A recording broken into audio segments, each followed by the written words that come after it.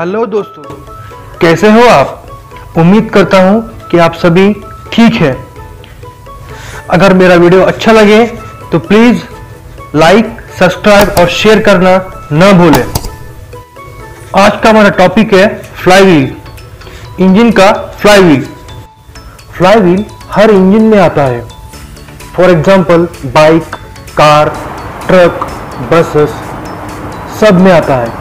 और agriculture equipment like tractor power tiller spray pumps petrol के pump diesel के pump सब में आता है flywheel flywheel flywheel cast iron से बनाया जाता है और उसे बहुत ही हेवी बनाया जाता है क्योंकि क्रैंक शाफ्ट का स्पीड रोटेशनल स्पीड बहुत ही हाई रहता है और वो फ्लक्चुएट करता रहता है। उसे रेगुलेट करने के लिए फ्लाईव्हील को हेवी बनाया जाता है।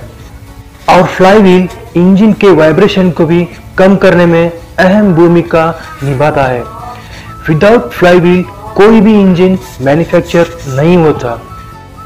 क्योंकि फ्लाई व्हील के बिना इंजन चलेगा ही नहीं। मैं आपको एक एग्रीकल्चर इंजन दिखाता हूँ जो स्प्रे करता है। क्या आपने ये इंजन कभी देखा है?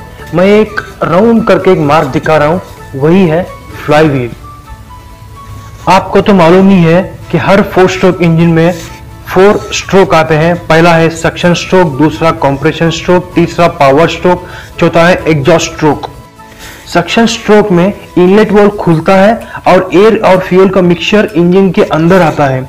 इस स्ट्रोक में हमें फ्लाईव्हील को पावर देनी पड़ती है। मैं ग्राफ में दिखा रहा हूँ as a negative energy negative energy इसलिए क्योंकि हमें फ्लाईव्हील को पावर देना पड़ता है स्टार्टर रोप या रस्सी खींच के। कंप्रेशन स्ट्रोक में इनलेट वोल और एग्जॉस्ट वोल दोनों भी बंद रहते हैं और इस स्ट्रोक में फ्लाईव्हील को ज़्यादा एनर्जी लगता है। मैं ग्राफ में दिखा रहा हूँ कि कंप्रेशन स्ट्रोक में नेगेटिव एनर्जी कितनी लगती है। पावर स्ट्रोक में फ्लाईव्हील को बहुत ही ज़्यादा एनर्जी मिल जाती है क्योंकि फायर स्ट्रोक में पिस्टन टॉप से बॉटम में फ्रीली आता है, क्योंकि फायर स्ट्रोक है।